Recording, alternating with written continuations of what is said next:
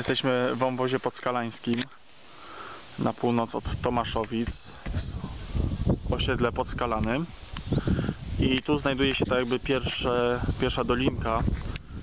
Niekiedy ludzie uznają ją, jakoby miała wchodzić w skład dolinek podkrakowskich. Natomiast e,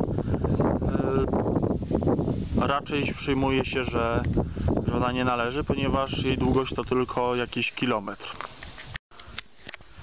W wąwozie podskalańskim znajduje się jaskinia Borsucza, która jest około długości 37 metrów. Tu macie wlot do niej. A powyżej niej widać małą skałkę.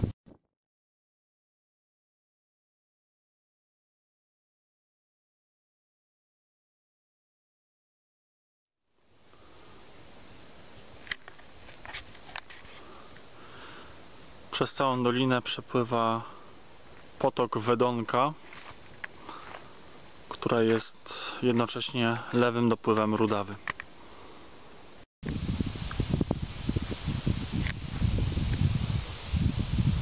Poza małą skałką, tak zwaną skałką borsuczą, przy której jest jaskinia borsucza, znajduje się też nieopodal w lesie wielka skałka. Prowadzi na nią 10 dróg wspinaczkowych. Jest to jedyna skałka w wąwozie podskalańskim, na którą ustalono drogi wspinaczkowe, co zresztą dzisiaj tam w lewym górnym rogu widzicie. Ktoś przyjechał wspinać się na wielką skałkę. Tą drogą to jeszcze Wam może tutaj za chwilę napiszę, która to jest droga wspinaczkowa.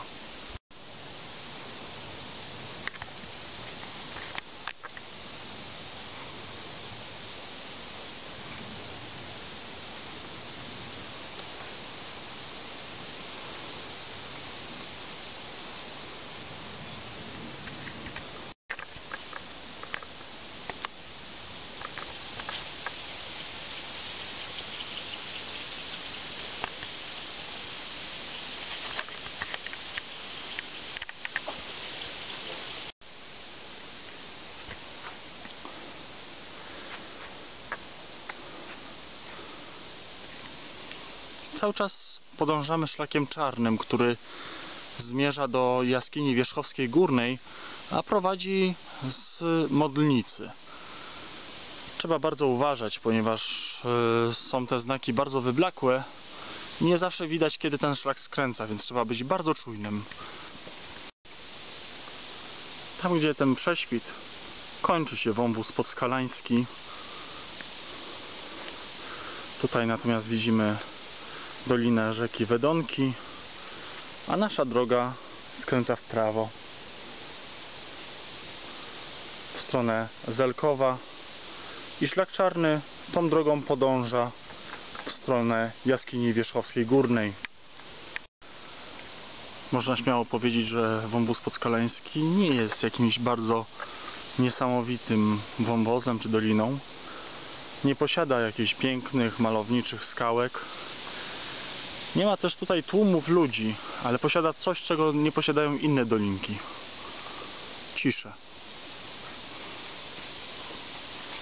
Tu można odetchnąć. Tu można się wyciszyć. Cisza jest balsamem na tą wszystką, wszelką nerwowość.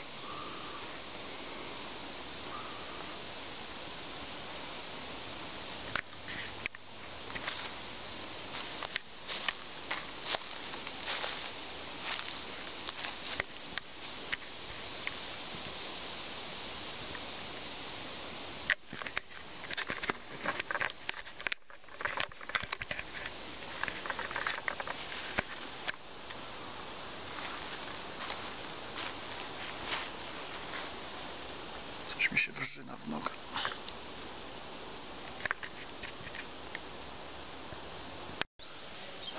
A i ostatnie spojrzenie na wąwóz podskalański, który właśnie w tym miejscu się kończy.